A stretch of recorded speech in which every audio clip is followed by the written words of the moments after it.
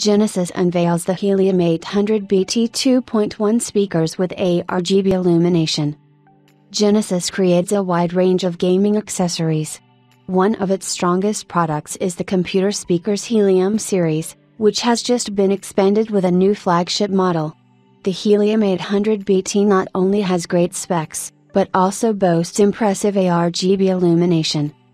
The Genesis Helium 800 BT is a 2.1 speaker set with 60 WRMS power, distinguished by its 100 Hz to 20 kHz frequency response.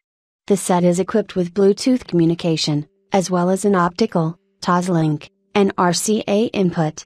The manufacturer added a controlling remote to the set, but it also includes a special panel on the subwoofer which allows user to change the volume and bass characteristics. The speakers also can work in eco mode, which automatically switches them to standby mode, when they are not being used. The Genesis Helium 800 BT set is designed not only for users who value good sound quality, but also for owners who would like their audio hardware to fit their PC build.